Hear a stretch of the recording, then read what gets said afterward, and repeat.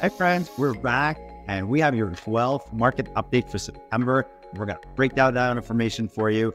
And no one better to do that with me than Megan, local superstar agent. And she's joining us right now. Megan, how are you? Good. How are you? Good. Thanks for joining us. Thank you. Good. So we're going to dive right into the numbers and get people what they need to know so we can get them on their way to uh, making good decisions on their. What do you say?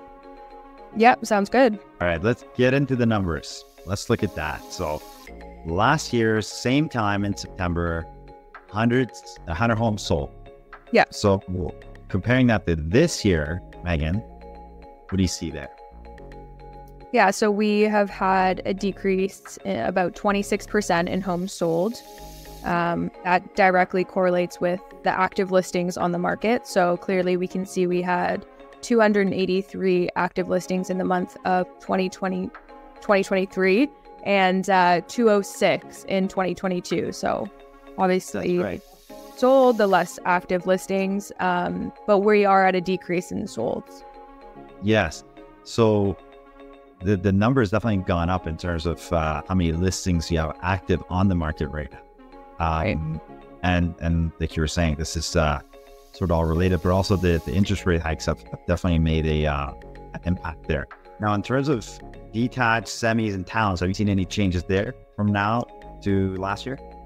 Yeah, so we have increased price in all of them. Detached and semis fairly average a three to four percent increase. Uh, from last year to this year. The townhomes is what we've been seeing a huge increase in, uh, 15%. So last year, September 22, roughly about 736 uh, on average, or 737 for a townhome. And uh, bringing it back to this year, we're seeing on average 865,000 for a townhome. So huge increase in price. Right.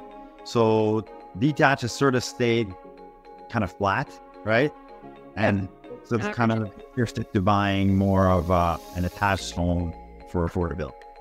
Yeah, a newer home, most likely too. Yeah, absolutely. Right. Interesting. Is there a lot of new construction going on in uh, in the Guelph area? Yeah, tons of construction. So, so looking at that and looking at the active listings on the market right now, we're not looking at those numbers right now. So there could be another, you know, right, 50 active listings by builders that aren't on MLS that that could be added to this. So folks could be buying those as well, and that could be taking away from those uh, sold properties as well. Yeah, I was just going to go into the days on market. So although that we do see that we have less homes sold, with the homes that are being sold, we are seeing that they're staying on the market for an average of two weeks less than last year. So right. last year they're saying staying on the market for about a month, and this year we're down to about 18 days. So that could come to uh, pricing strategies. Um, a lot of agents we're seeing are pricing the list to sell, right? Um, so right. that could that's a huge factor. Yeah. So, what do you think? You think that number is going to start to go up? That days on market uh, number? You think it's going to start to tick up again because we all of a sudden have so much inventory on in the next little while?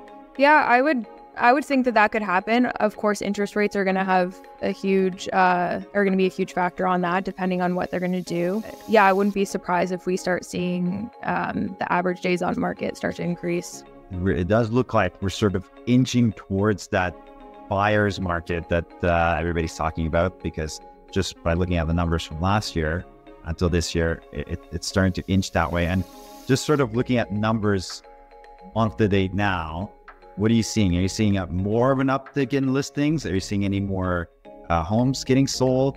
Or what are you seeing right now? Just to give people some fresh, fresh data.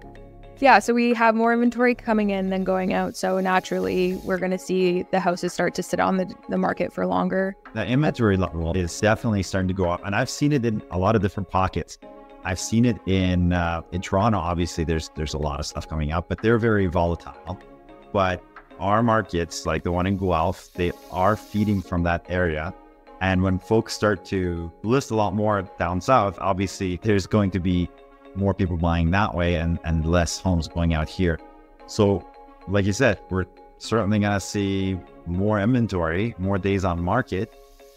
and uh, that's going to directly correlate to some lower prices. So, what would you suggest to somebody that wants to uh, list their house rate? Uh, I would probably list competitively at a price as competitive as possible. Uh, get as many buyers through your house just because if you have an overpriced listing, then you're not even able to get buyers through, even to give you the feedback that's needed or to sell your home. So, yeah, I think so too. You're right. I, I'd say there's a time is not your friend if you're listing right now, because right. if you end up sitting with everybody else, right? Like you're saying, you're gonna you're gonna end up just sitting on there and chasing yeah. the market downwards.